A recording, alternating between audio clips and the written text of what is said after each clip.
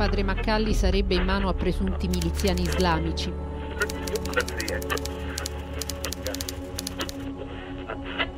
L'anniversario del rapimento di Padre Maccalli nel Niger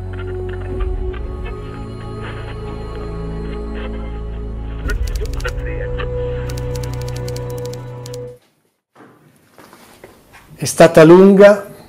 ma adesso sono tornato e grande la gioia di poter riabbracciare tante persone, tanti amici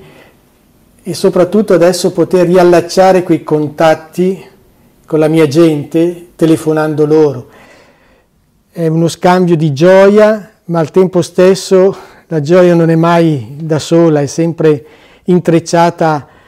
a sofferenza, a pene e la gente mi comunica anche come è contenta, hanno danzato per la mia liberazione, ma mi fanno anche parte del loro dolore, della loro sofferenza e particolarmente mi dicono, ecco, da quando sei partito hanno chiuso tutte le scuole, la scuola di Gula, la scuola della missione, adesso è una base di soldati, per la sicurezza.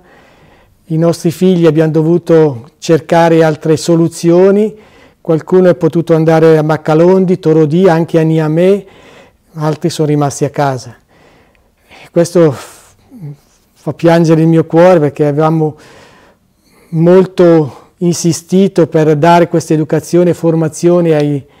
ai bambini, ai ragazzi e adesso tutto cade per questa insicurezza. Ho potuto anche parlare, telefonare a, all'amico, confratello Mauro. E anche lui mi ha rincuorato dicendomi come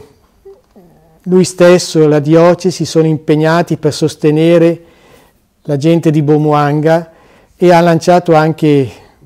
questo progetto di aiuto per i ragazzi e i giovani e le loro famiglie che hanno bisogno di continuare la formazione, la scuola e quest'anno proprio ecco, hanno preso a carico eh, le attività di sostegno per i ragazzi e le famiglie in difficoltà, perché come voi sapete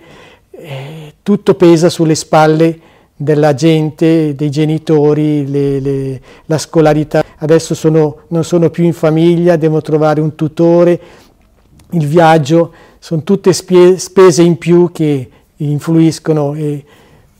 Grazie a quanti benefattori amici ci date una mano per dare questo futuro ai nostri ragazzi.